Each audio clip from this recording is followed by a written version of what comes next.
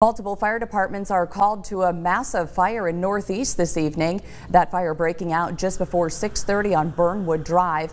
According to reports from the scene, the fire started in a detached garage when someone tried starting a lawnmower. The fire quickly spread to the house and a car that was in the driveway. We're told two dogs made it out safely and no injuries were reported.